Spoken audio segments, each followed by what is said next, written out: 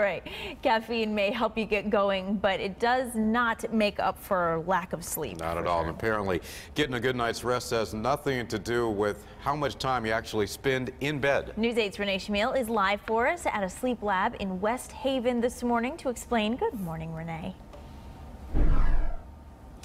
Good morning, Keith. Good morning, Laura. A new study didn't look at how much sleep you get. It looked at body temperature. And it found if you turn your thermostat down, you might actually sleep better. And that's especially true if you sleep with a lot of bedding, heavy comforters like this one. And it found if you keep your thermostat at about 65 degrees, that's the best. And again, if you do use a lot of bedding, lowering it even more to around 60 degrees could be even better. Researchers found sleep may be more regulated by temperature temperature than light.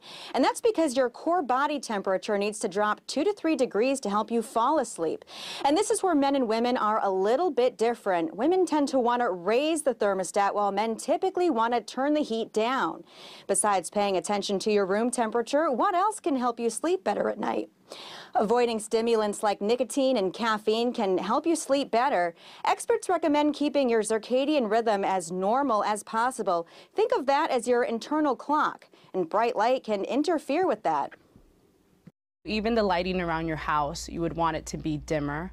That way, um, you know, it kind of mimics the nighttime that we're used to um, promoting the part of circadian rhythm that um, encourages sleep.